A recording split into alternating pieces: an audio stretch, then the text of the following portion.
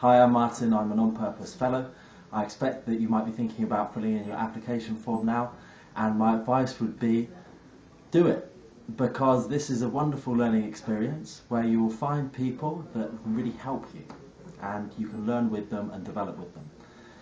I have never looked back since joining on purpose and I'm very glad that I did it. Um, I should say if you've got any questions at all then get in contact by Facebook, by Twitter or email and I'm sure those questions will be answered.